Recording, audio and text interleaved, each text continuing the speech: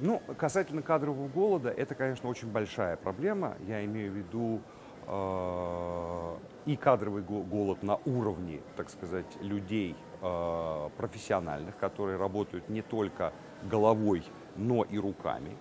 Это голод на уровне так сказать, э, такого высшего рабочего класса, который уже, так сказать, достаточно квалифицирован для того, чтобы управлять там, а, а, там, электронными станками и прочими вещами. И, конечно же, есть голод на уровне уже специалистов с высшим образованием, то есть инженеров и прочих людей. Безусловно, это так, это большая проблема, и это результат э, собственно говоря, это не результат э, того климата, который сложился в России. Это результат, в общем-то, пос последнего века нашей развития, нашего развития. Мы очень а, значит, были закрытой страной в советское время.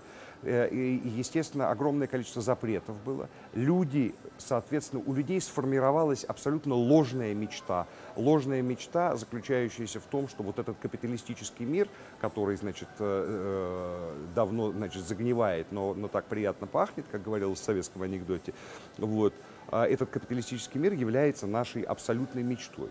Вот последние кризисы, особенно кризис 2008 года, показал, что та модель капитализма, на мой личный взгляд, это моя, моя точка зрения, она спорная, э, та модель капитализма, которая нам была навязана, э, собственно говоря, после Второй мировой войны, а именно доллар как расчетная единица, э, весь этот, так сказать, вся эта помощь военная, ленд это все было в форме кредитов выдано, и в результате мы получили Соединенные Штаты Америки, мега-державу, супермонстра, который, собственно говоря, сегодня пытается диктовать миру свою волю и перекладывать на, на мир там, свои проблемы.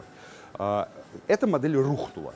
И мне кажется, что вот это тот момент сегодня, когда, так сказать, э, отъезд в другие страны в поисках лучшей жизни становится, на мой личный взгляд, э, весьма сомнительным э, мероприятием.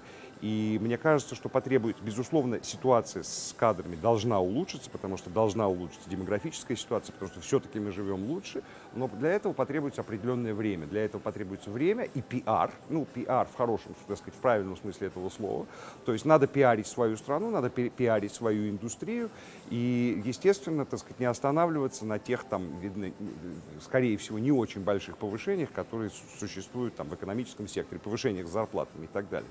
Вот. Сразу этот вопрос не решить. Но я надеюсь, если будет взвешенная кадровая политика в нашей стране, то постепенно мы сможем э, сократить, остановить, а потом, может быть, и повернуть вспять вот тот отток, отток мозгов, отток рук, отток квалифицированного персонала. А если еще введут карты на алкоголь, то будет все совсем хорошо.